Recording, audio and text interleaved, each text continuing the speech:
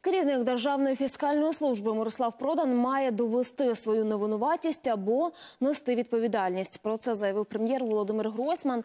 Він також відзначив, що за минулі півтора року ДФС вдалося вирішити проблему з відшкодуванням ПДВ та розпочати боротьбу із корупційними схемами на митниці.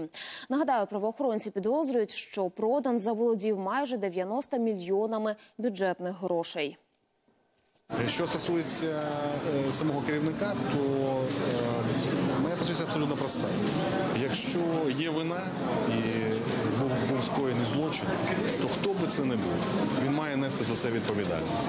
Але якщо ця, е, цієї вини немає, то він має довести абсолютно свою невинуватість в і поставити в цьому е, питанні крапку. Я глибоко переконаний в тому, що жодних священних карів бути не може ні по посадам, ні по прізвищам, ні по яким іншим е, ознакам.